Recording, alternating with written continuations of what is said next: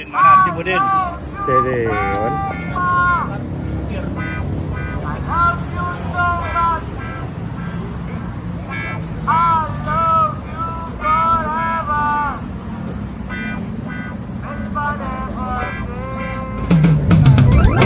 Kini aku telah kembali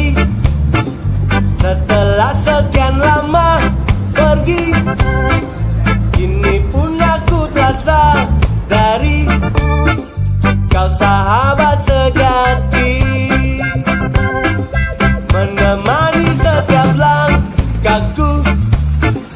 Menemani sukaku.